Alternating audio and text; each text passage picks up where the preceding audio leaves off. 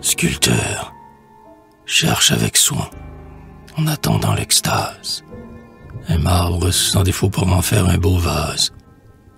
Cherche longtemps sa forme, il n'y retrace pas d'amour mystérieux ni de divin combat. Pas d'Héraclès, vainqueur du monstre de Némée, ni de Cypris naissant sur la mer embaumée. Pas de titan vaincu dans leur rébellion, ni de rien Bacchus attelant les lions, avec un frein tressé de pampres et de vignes. Pas de Léda jouant dans la troupe des cygnes, sous l'ombre des lauriers fleurs, et d'Artémis, surprise au sein des eaux dans sa blancheur de lys.